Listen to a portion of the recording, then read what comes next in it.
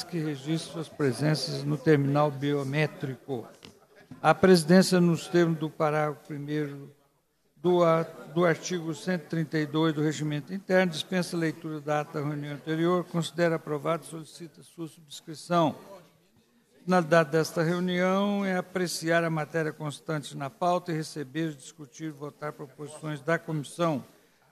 Presidente acusa o recebimento dos projetos de lei número 369-2015, no primeiro turno, do qual designou como relator o deputado Fernando Pacheco. Passa-se a primeira fase da ordem do dia, que compreende a discussão e votação de matérias sobre pareceres sobre proposições sujeitas à apreciação do plenário.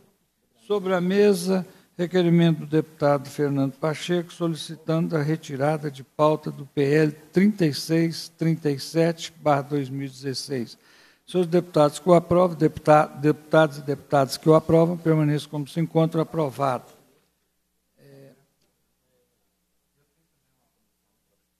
Projeto de Lei número 648/2019, primeiro turno, institui o Polo Mineiro de Incentivo à Cultura de Flores e Plantas Ornamentais, denominado Flores para Brumadinho e da outras providências. O autor é o deputado Coronel Henrique, o relator é o ilustre deputado Glaicon Franco, se estiver em condições de fazer a leitura Sim, senhor presidente. do seu parecer, com a palavra o deputado Glaicon Franco.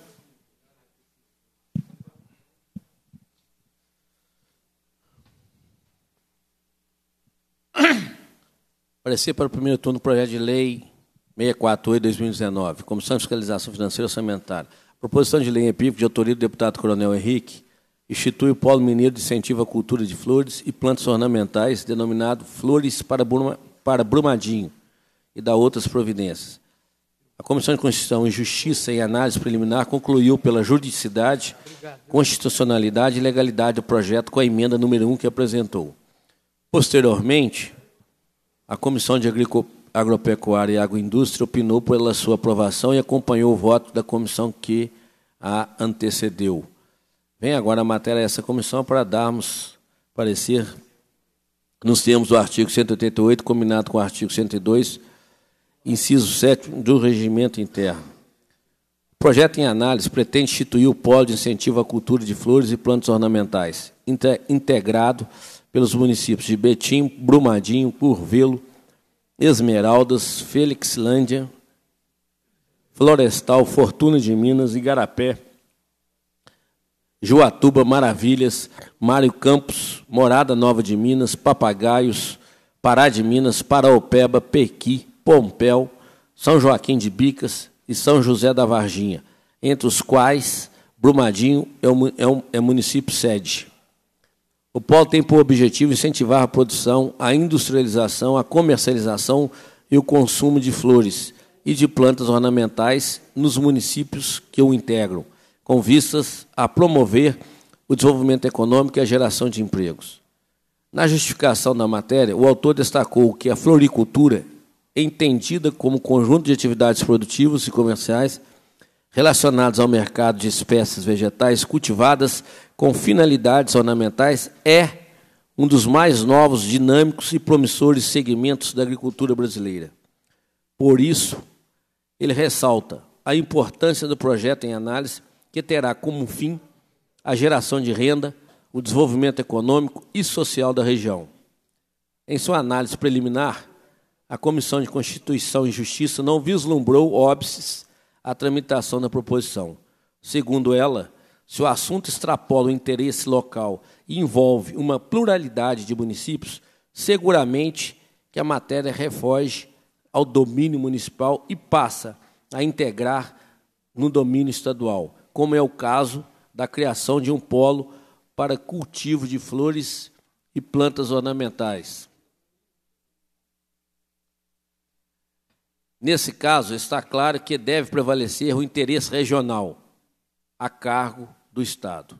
No entanto, a fim de aprimorar a proposição, a comissão apresentou a emenda número 1, que deu nova redação ao caput do artigo 3 de modo a preservar o princípio da separação entre os poderes.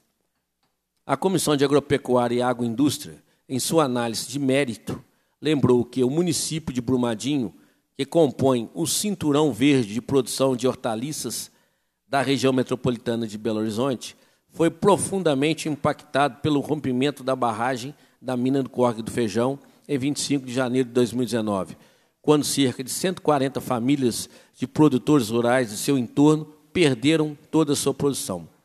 Mesmo os municípios não atingidos diretamente pela lama tiveram a comercialização de seus produtos afetadas pelo receio de uma possível contaminação do solo e da água pelos rejeitos da barragem. A comissão salientou que a criação do polo contribuiria para viabilizar uma alternativa de desenvolvimento para Brumadinho e região, razão pela qual opinou pela sua aprovação com a emenda número 1 da Comissão de Constituição e Justiça. Do ponto de vista financeiro e orçamentário, escopo desta comissão, cumpre destacar que a implementação das medidas previstas no projeto não geram despesas aos cofres públicos. A proposição contém enunciados de caráter genérico e abstrato, com diretrizes e objetivos para o Estado instituir o projeto Flores para Brumadinho, o qual pode ser uma atividade econômica alternativa aos municípios banhados pelos rios atingidos pelo rompimento da barragem 1 da mina do Córrego do Feijão. Dessa forma, e ao apreciar as análises e os aperfeiçoamentos das comissões que nos antecederam, consideramos que o projeto deve prosperar nesta casa. Concluímos, ante o exposto, pela aprovação do projeto de lei 648 de 2019, em primeiro turno, com a emenda número 1 da Comissão de Constituição e Justiça. Esse é o nosso parecer, senhor presidente. Em discussão. Discutir, presidente. A palavra do deputado Virgílio Guimarães. Eu queria é, cumprimentar o, o, autor e o relator do projeto.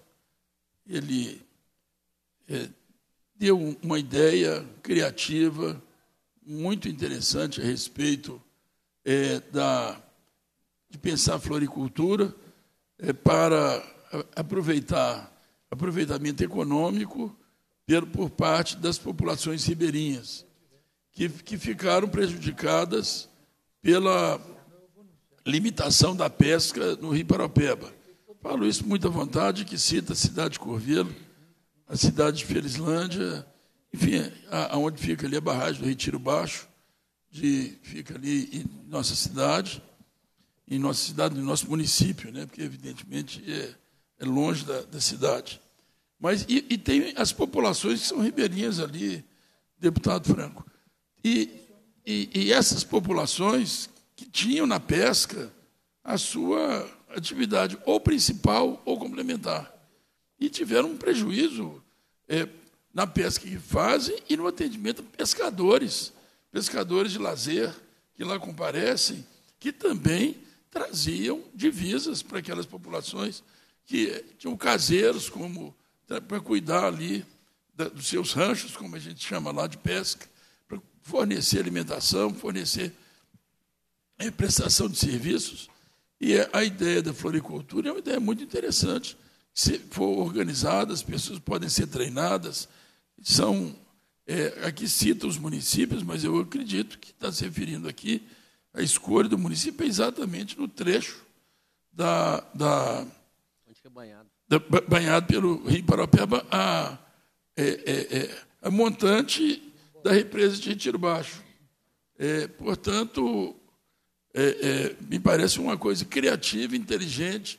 Pode ser, inclusive, acionado o, as compensações fornecidas pela Vale para financiar, mas aqui não limita a esse, essa fonte pode ter outras fontes, até porque depois essa é uma atividade que pode vir a ser perenizada.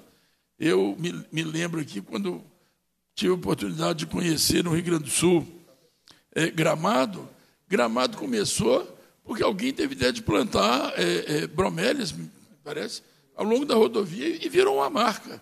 O Rio Paropeba pode ser um rio das flores no, no futuro. Então, eu queria cumprimentar a criatividade, a, a iniciativa desse projeto de lei, que, que ele, ele, se, ele, se ele for bem traduzido em prática, ele pode ser uma belíssima solução para as populações ribeirinhas ali do, do, do Rio Paropeba. É... E, e, da sua bacia, evidentemente, né?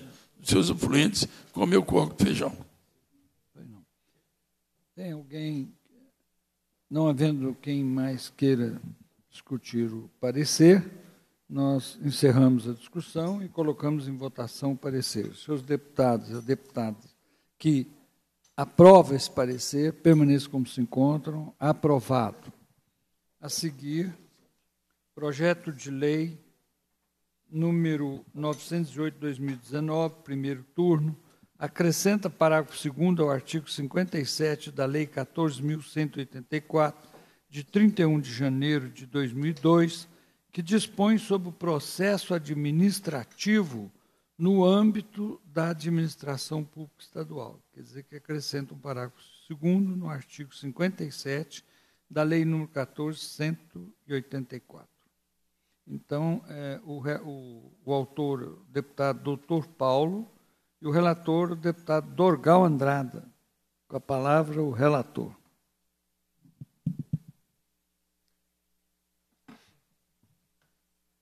Minuto, senhor presidente. Parecer primeiro turno, projeto de lei 908-2019, Comissão de Fiscalização Financeira e Orçamentária. Relatório. De autoria do deputado Dr. Paulo, projeto de lei em epígrafe acrescenta parágrafo 2 ao artigo 57 da Lei nº 14.184, 31 de janeiro de 2002, que dispõe sobre processo administrativo no âmbito da administração pública estadual. Preliminarmente, a matéria foi apreciada pela Comissão de Constituição e Justiça, que concluiu por sua juridicidade, constitucionalidade e legalidade na forma original. Em análise de mérito, a Comissão de Administração Pública opinou pela aprovação da matéria, também na forma apresentada. Vem agora o projeto a esta comissão para dela receber parecer nos termos do artigo 188, combinado com o artigo 102 do regimento interno. A fundamentação. A proposição em estudo tem por objetivo acrescentar dispositivo à Lei nº 14.184, 2002, no intuito de estabelecer que esse recurso interposto em sede de processo administrativo no âmbito da administração pública estadual que verse sobre a percepção de vencimentos, benefícios, auxílios, aposentadoria seja recebido com efeito suspensivo, de modo que a garantir a continuidade de recebimento de tais verbas de caráter alimentar pelo servidor, pelo servidor até o encerramento do processo na esfera administrativa. Em sua análise preliminar, a Comissão de Constituição e Justiça considerou que a proposição não incorre em vício de iniciativa uma vez que a proposta não se refere à organização, ao funcionamento do Poder Executivo, mas a direito recursal dos administrados. Avaliou, além disso, que o escopo da suspensividade do recurso é preservar os interessados do imediato, dos imediatos efeitos de uma decisão que ainda está sendo questionada no âmbito administrativo, tendo em vista o princípio da segurança jurídica. No tocante ao mérito, a Comissão de Administração Pública, ao opinar pela aprovação da matéria, também na forma original, entendeu que a concessão de efeito suspensivo aos recursos administrativos que versem especificamente sobre percepção de vencimentos, benefícios, auxílios ou aposentadorias, é medida necessária e razoável, não devendo depender do juízo da autoridade administrativa, haja vista o caráter alimentar das verbas em questão e a presunção do dano para os administrados no caso de sua interrupção.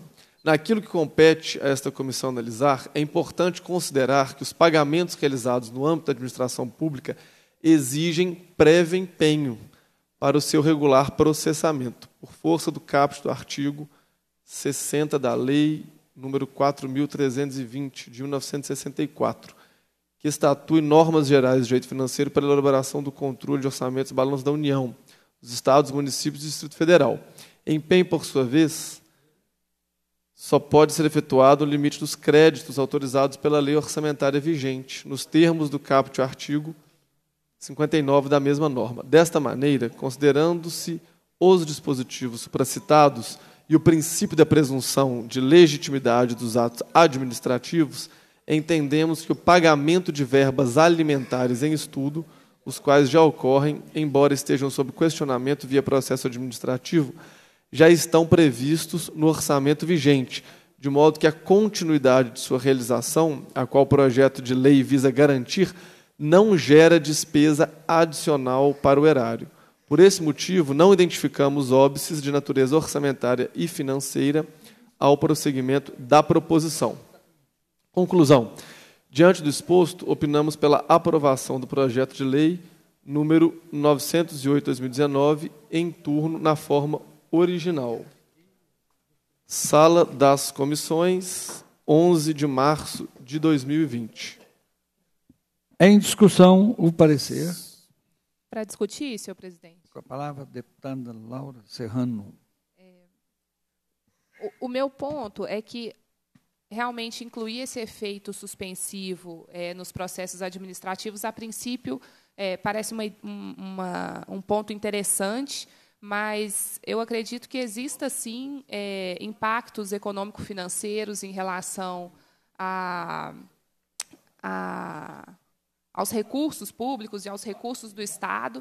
Pode existir ainda um outro, mesmo que haja o empenho e haja a previsibilidade, o, o fato de se incluir esse, esse efeito suspensivo, ele gera um impacto real de, de demora de recebimento desses recursos, e, é, nesse ponto, eu acho que é importante, é, dado o que está previsto na Lei de Responsabilidade Fiscal, é, realizar, talvez, uma, uma diligência para o Executivo, é, para a CEPLAG, para a Advocacia Geral do Estado, até porque pode haver também uma discussão sobre a razoabilidade de se é, incluir esse efeito suspensivo em um processo administrativo que, na verdade, já dá o direito ao contraditório, à plena defesa. É, portanto, já normalmente esses processos administrativos são instaurados é, a favor do servidor.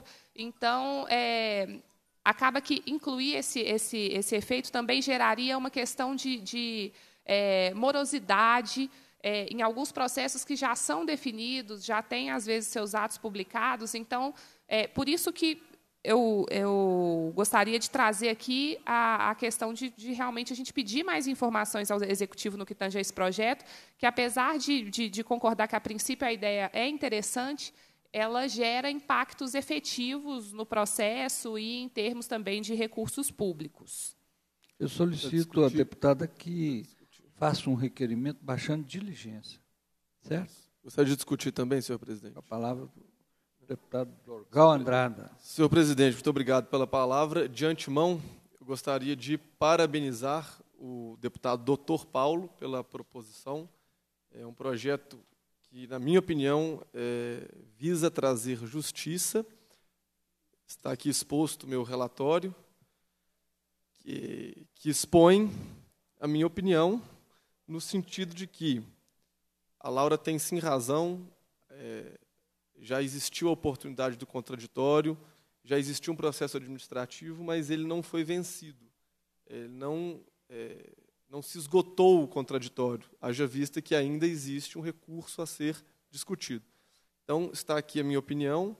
É, eu estou de acordo com o efeito suspensivo no âmbito destes processos administrativos, para que aquele que está sendo, passando pelo processo administrativo não seja prejudicado mas eu também concordo que é interessante, que vai enriquecer a discussão nas comissões, futuramente lá no plenário, sim, este pedido de diligência. Então, estou de acordo com a deputada Laura para que seja baixado em diligência e a gente consiga, com mais informações, enriquecer a discussão.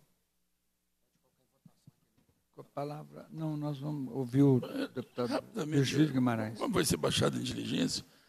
É, em tese, né, tudo existe em tese, agora existe uma prática.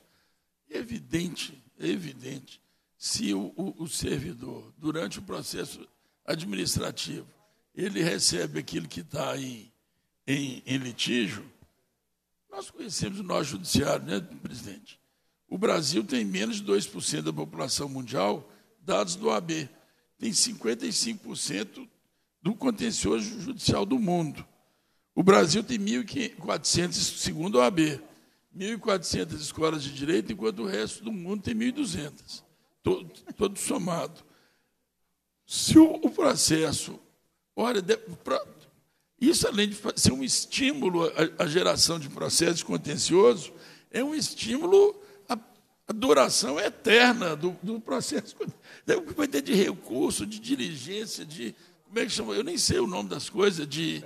De, de, de, de tem um negócio, não sei o que lá, de declaração, como é que chama? Embargo. Embargo.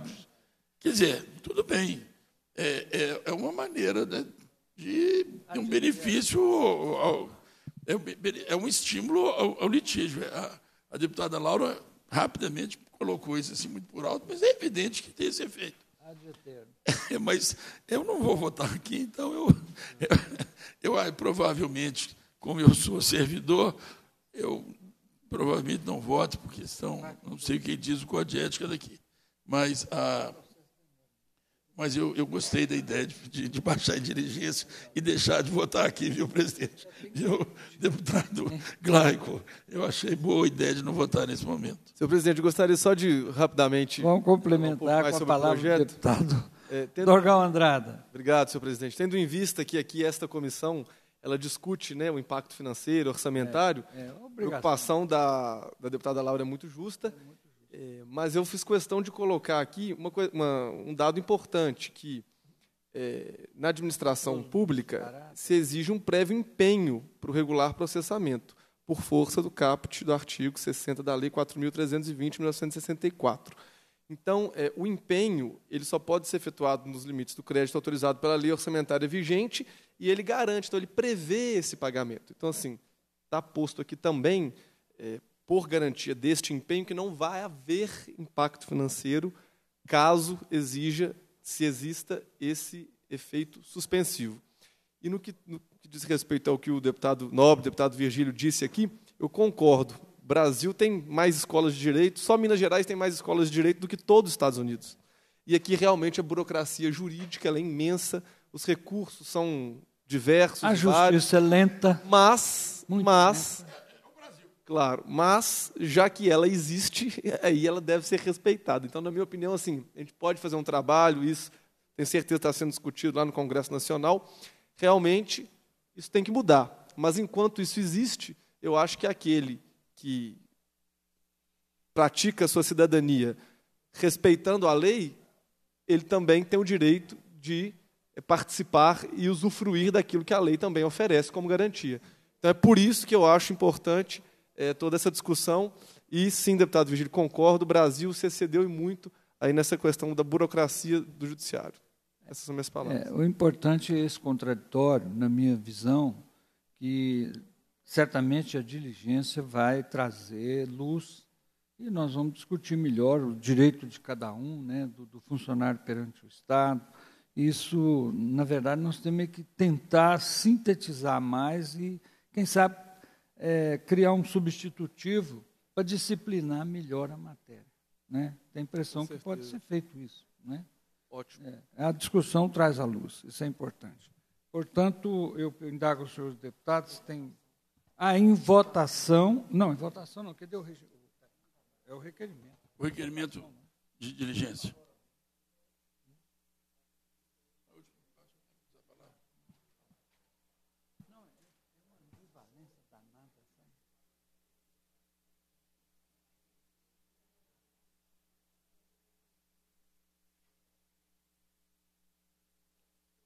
Bem, bem pensado, né? pensado. É mais uma coisa. Sim, em tese é correto.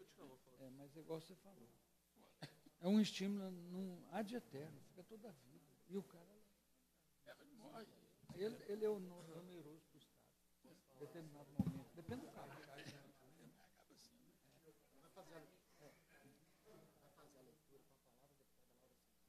Tá. Ah, tá bom. Com a palavra, a deputada Laura Serrano, para fazer a leitura do seu requerimento. Requerimento de comissão. Excelentíssimo senhor presidente da Comissão de Fiscalização Financeira e Orçamentária, a deputada que este subscreve requer a Vossa Excelência, nos termos regimentais, seja o projeto de lei número 908 de 2019, baixado em diligência a Secretaria de Estado de Planejamento e Gestão e a Advocacia Geral do Estado para avaliação sobre o impacto da matéria, caso aprovada, nos processos administrativos do Estado, bem como se haveria impacto financeiro aos cofres públicos. Em votação, requerimento. Senhores deputados e deputadas que o aprovam, permaneça como se encontra. Aprovado o requerimento, então. Nós esperamos que tenhamos também uma resposta mais rápida. E eu queria esclarecer aqui que teve uma lei aí do Belém estabelecendo prazos para as respostas. E o governo não está cumprindo os prazos. Então, nós precisamos das respostas aqui de requerimento dentro do prazo estabelecido por lei que já foi sancionada. Portanto, é, cumprir, eu indago seus deputados, tem alguma matéria a ser tratada ou você quer é, ainda fazer considerações sobre esse aspecto? Não, é sobre é na terceira fase mesmo, não. Pode ser? Não, com a, com a palavra, deputado. Senhor presidente, eu já vi muita justificativa porque faz requerimento. Pela primeira vez que eu vejo, até porque vou fazer agora, a justificativa porque não faço o requerimento. Como a Comissão de Segurança Pública convidou os secretários para discutir a questão do reajuste salarial, da, da, da, área da segurança e dos demais servidores do Estado, muita gente me cobrou se aqui não seria o espaço mais adequado para tal. Em tese, sim. Eu vou até falar por que acho que, que, que, nós acertamos a não trazer ninguém para discutir um, um assunto que no mérito foi discutido. Em primeiro lugar, eu queria dizer que eu poderia ter comparecido também na, na, na audiência da, da Comissão de Segurança Pública realizada ontem não pude estar, porque na segunda-feira foi aniversário da cidade de Espinosa, é, 96 anos, eu estava lá e não consegui chegar a tempo aqui da audiência, que foi pela manhã. O, por sinal, o secretário Bilac, até ele também, é, como vários deputados aqui, receberam homenagem lá, todos que ajudaram a cidade, e ele vai ser convidado também para ir lá receber um, uma moção de uma homenagem e tenho certeza quando for lá inaugurar umas pontes importantes lá, que com certeza o prefeito terá muito prazer em recebê-lo e mandou esse recado aqui. Não pude estar, portanto, na audiência, mas fiz. É, o prefeito Milton Barbosa, inclusive, é, faz questão de, de depois repetir essa essa solenidade que teve lá na cidade de Espinosa, quem cumprimento aqui também nesse momento. Mas eu tive a oportunidade de, de assistir a audiência pública na íntegra, presidente, e, e achei até bom, porque quando a gente assiste gravado, a gente pode repetir, ver, analisar as questões.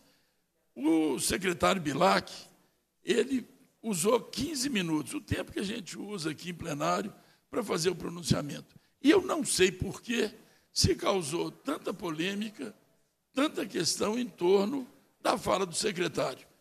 Eu achei uma, uma fala ponderada, adequada, colocando pontos evidentes que estão postos sobre o tema, o que me deu a tranquilidade de dizer aqui que acho absolutamente desnecessária essa discussão numa comissão técnica feita a nós. A discussão que foi feita é política. Não tinha razão nenhuma para achar que houve um atraso. Não há atraso na, na, na, na sanção ou veto, até dia 17. A culpa do atraso não há culpa. Culpa quando há dano. Não há qualquer dano a isso, porque o, os efeitos da lei, entrando em vigor, será só em 1 de julho. Portanto, a questão está mais do que clara, está esclarecida. O, Inclusive, vi uma polêmica engraçadíssima sobre se a emenda é incondicional, a emenda que estende. O, a Constituição Mineira, ela acolhe as emendas. Ela é clara ao dizer que a sanção do governador pode é, dar legitimidade à, à, iniciativa que foi da. Do, então, a existência da, da, da emenda ela é absolutamente constitucional. Aliás, emenda não, não existe. Porque a emenda, quando ela é votada, ela desaparece, ela se esfuma. Ela deixa de ser emenda, passa a ser artigos do projeto de lei.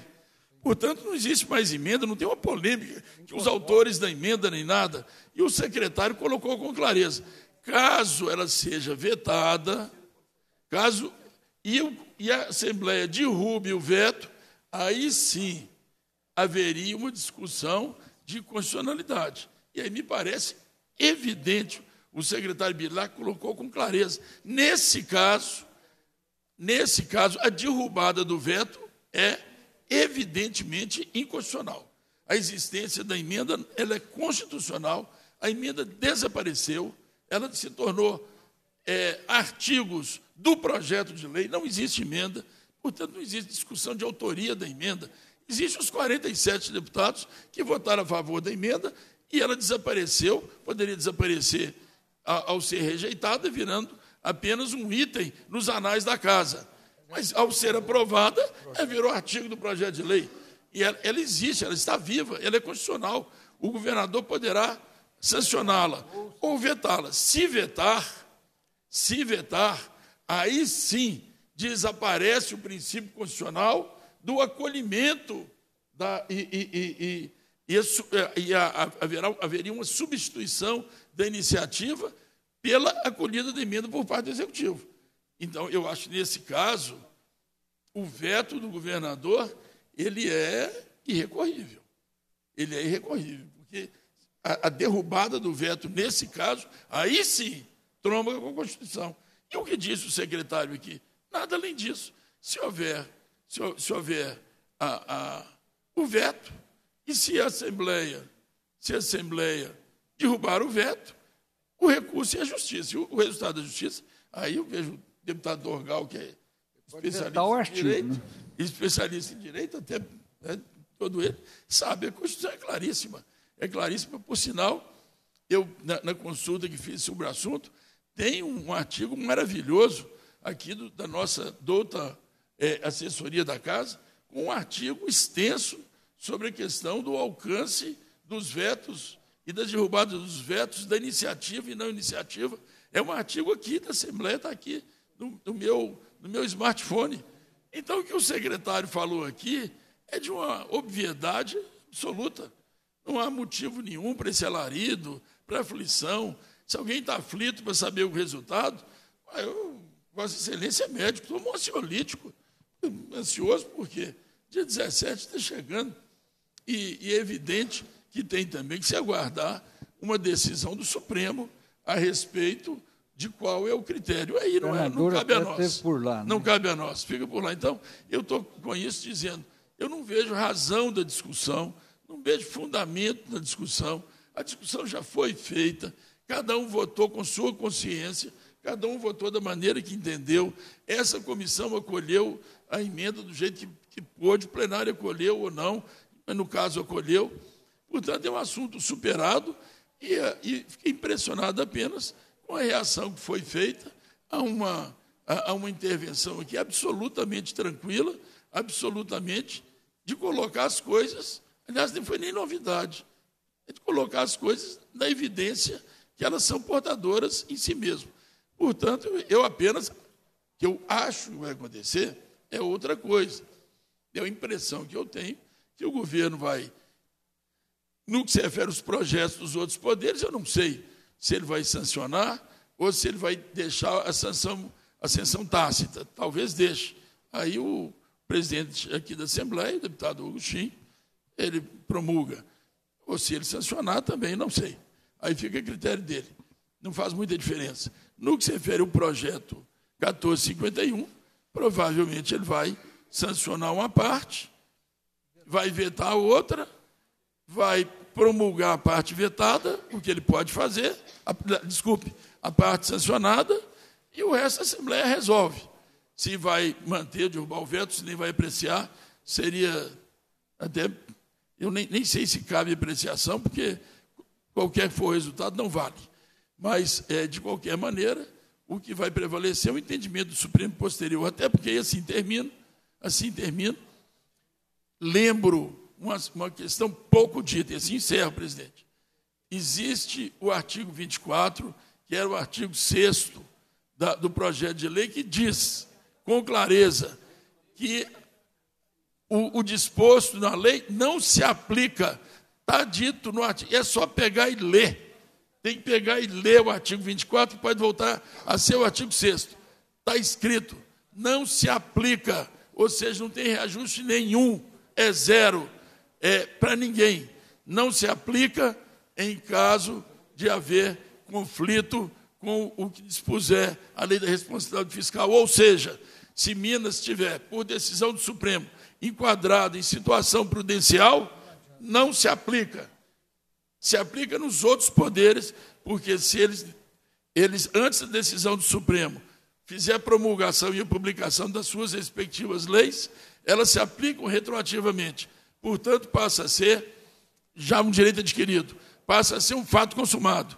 Então, a decisão do Supremo, que provavelmente virá depois desse período, não alcançará as, os projetos de lei dos, dos demais poderes.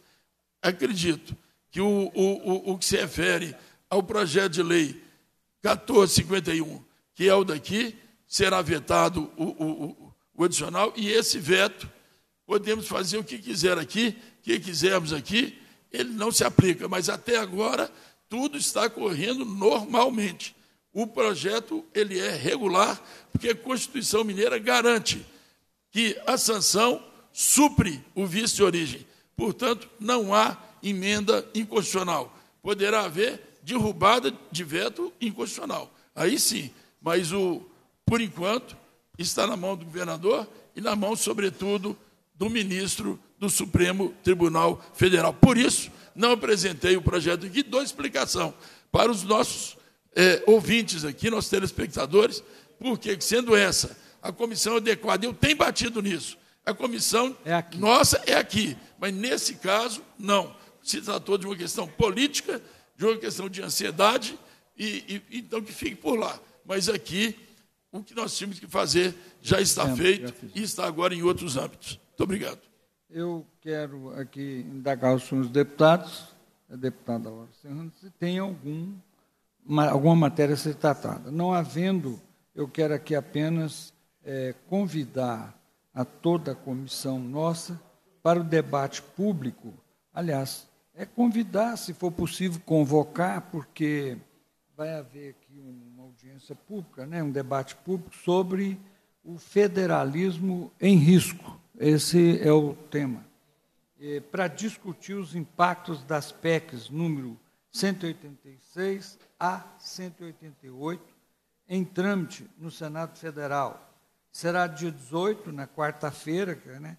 a nossa programação ficou para as 9 horas, das 9 às 18 horas, no auditório José de Alencar. Né? Então, é sobre as três PECs que estão correndo no Senado, e que houve por bem é, da iniciativa dos deputados aí é, solicitar um requerimento que nós aprovamos né, para que haja esse, esse aspecto, é, é para que haja esse debate público, para enriquecer e para colocar os deputados nossos é, para debater, para conhecer as três PECs e depois, certamente, isso será encaminhado para o um nível federal, né? Que vai ser votado no Congresso Nacional e no Senado.